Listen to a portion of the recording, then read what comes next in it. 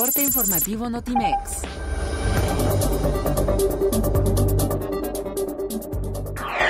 La Casa Blanca se vio obligada a rectificar al presidente Donald Trump y reconocer que el presidente de México, Enrique Peña Nieto, nunca llamó al mandatario para felicitarlo por su política migratoria y negó que su afirmación inicial en ese sentido haya sido una mentira.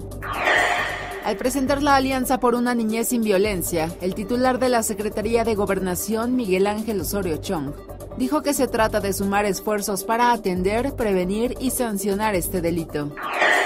El secretario de Economía, Ildefonso Guajardo Villarreal, señaló que la segunda ronda de negociaciones del Tratado de Libre Comercio de América del Norte se realizará alrededor del 10 de septiembre en México.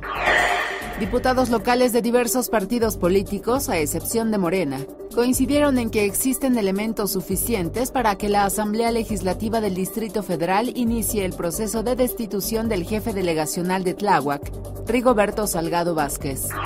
Las salas de cine francesas estrenaron la película mexicana Las hijas de abril, ganadora en mayo pasado del premio del jurado de la sección Una cierta mirada de la 70 edición del Festival Internacional de Cine de Cannes.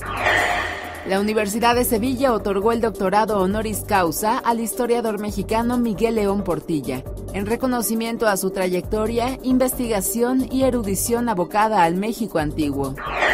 El futbolista brasileño Neymar da Silva Santos se ha despedido de sus compañeros en el Barcelona, a los que anunció su marcha al Paris Saint-Germain, por lo que está pendiente la confirmación oficial de parte del club azulgrana. Notimex. Comunicación Global.